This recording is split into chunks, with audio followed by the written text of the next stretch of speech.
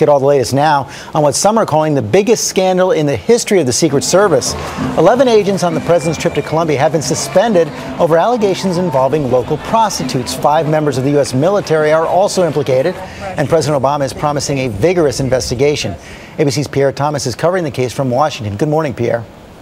Hi, George. Outrageous. That's the word here in Washington as this morning members of Congress are vowing to investigate allegations that Secret Service agents went rogue. And today, an upstage president wants answers.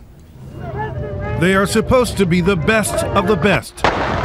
The men and women willing to take a bullet for the president, the agents of discipline, professional above all else. But this morning's shameful allegations 11 Secret Service personnel and five from the U.S. military accused of heavy drinking and soliciting prostitutes.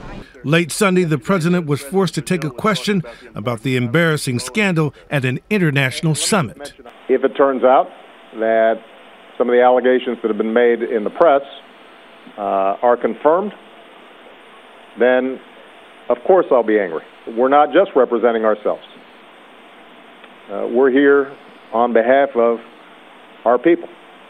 Uh, and, and that means that we conduct ourselves with, uh, uh with the utmost uh, dignity. This is the biggest scandal in the history of the Secret Service. The security detail arrived in Colombia about a week before the president. But by last Wednesday, officials at the Hotel Caribe were irritated at the agent's alleged heavy drinking and loud partying disturbing guests. And sources say local women were coming in with agents. The scandal might have remained secret if not for an angry prostitute. There was a dispute the next morning when one of the women did not leave the room. The Police had to come to uh, ask her to leave. She wouldn't leave until the Secret Service agent uh, paid her money that she said was owed to her. The State Department was called, and with that, the Secret Service personnel were sent packing back to the U.S. before the president arrived Friday.